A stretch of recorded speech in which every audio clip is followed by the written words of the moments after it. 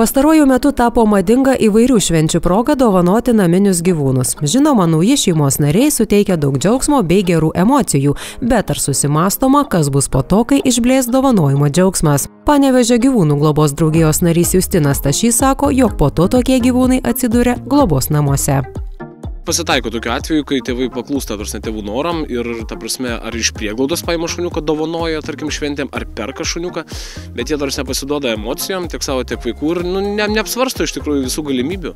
Paskui palieka tą šuniuką vieną, neturi kas jį prižiūrėti, nes, ta prasme, nu, vaikui atsibosta šuo po savaitės, panašiai yra tokia tendencija. Ir yra ne vienas atvejis buvęs, kai tada skambina ir tiesiog sako tiesą, kad nu, nebesustvarkom, vaikas nebežiūri, tarsi ar galėtumėt primti.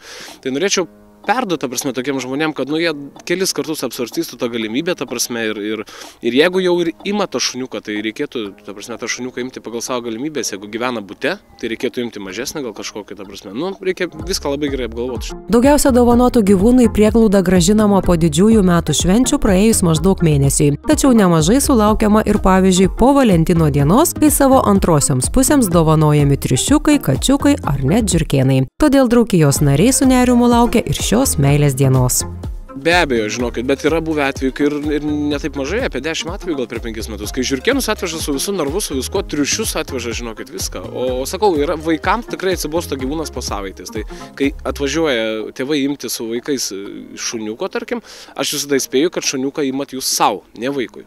Tai va, nu, dauguma supranta. Tačiau kai kurie imasi ir kitokių būdų. Atvyksta į prieglaudą, tikina, kad nori priglausti beglobį gyvūną, o iš tikrųjų paaiškėja, kad jie tiesiog ieško dovanos, kurios vėliau šeimininkas tiesiog atsikrato.